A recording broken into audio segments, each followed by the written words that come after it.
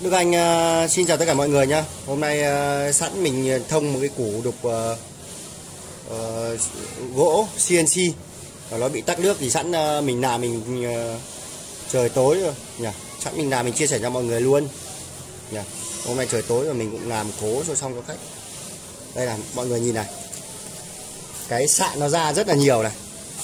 Tức là các bạn ấy, thông cái này ấy, nói chung là nó cũng rất là khó tại vì các bạn không phải là nghề ấy, cho nên là là mình mình hướng dẫn cho mọi người nói chung ai làm được thì làm thôi tại vì cái này nó cũng cũng cũng, cũng hơi phức tạp một tí. Đây cho mọi người xem cái lỗ đó này. Nó bị tuét rồi. Đấy. cái này mình mình vừa lung nóng xong nhá. Mình vừa lung nóng xong. Đó mình làm cho mọi người xem. Này tức là mọi người cái này ấy phải tháo hết bi rồi tháo hết cả quận đồng ra mọi người nhá nó tháo ra, còn mỗi cái vỏ không thôi. Xong mọi người gõ này. Đấy, để lung nóng trong gõ thì nó mới được. Mọi người thấy không? Mùn nó đang ra này. Đấy, mọi người nhìn mùn nó ra chưa? Khiếp chưa? Đó. Vỗ nhẹ thôi mà mà nó ra.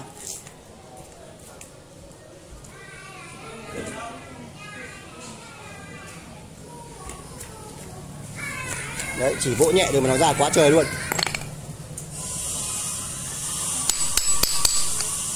Đây, mọi người nhìn rõ không? Đây mình làm cho mọi người xem nhé. Đó, chỉ cần vỗ rất là nhẹ thôi mà nó ra quá trời luôn. Đấy mọi người thấy chưa?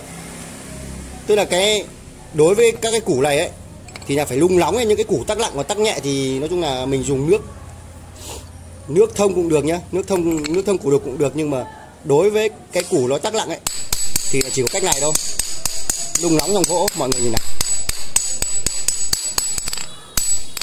đấy mọi người bụi ra chưa?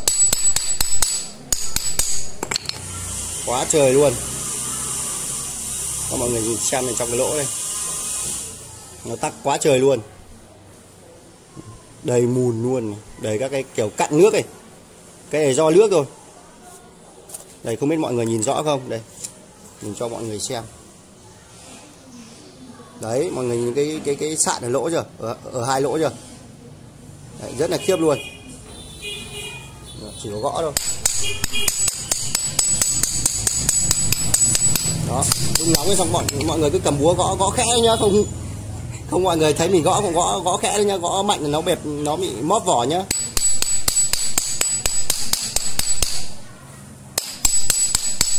Đấy, mọi người thấy chưa?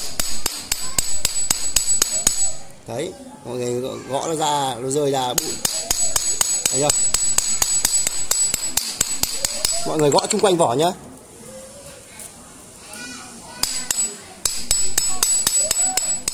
Đó.